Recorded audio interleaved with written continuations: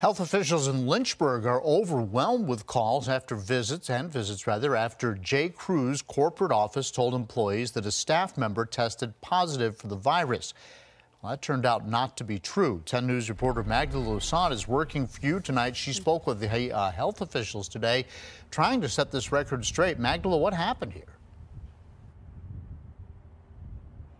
Well, John, the director wants the public to know that person never tested positive for COVID 19. Health officials are calling this a mistake and misunderstanding.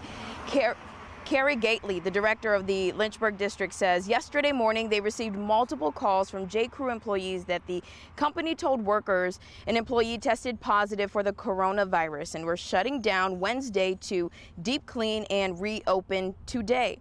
Health officials tell us they have no positive cases in Lynchburg or Central Virginia, and if they did, the public would know. That we've had our communication with them and they know who they better call.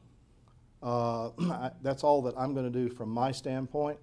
And uh, what they do internally, uh, how, how, they uh, explain this to their own employees, I'm, I'm, I'm, leaving it up to them. But from the public health standpoint, there, uh, there is no risk right now at that facility.